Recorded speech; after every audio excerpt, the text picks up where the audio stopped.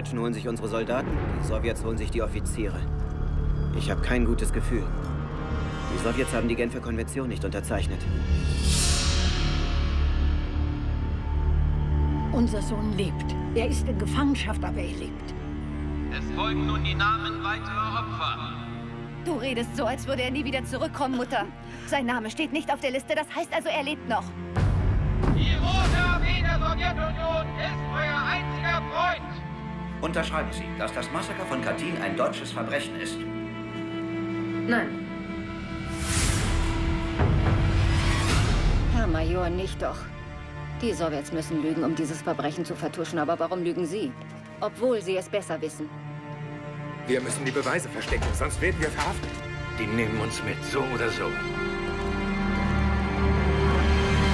Ich soll Katyn verleugnen, um das Abitur machen zu können? Ich rate Ihnen, vernünftig zu sein. Das ist alles.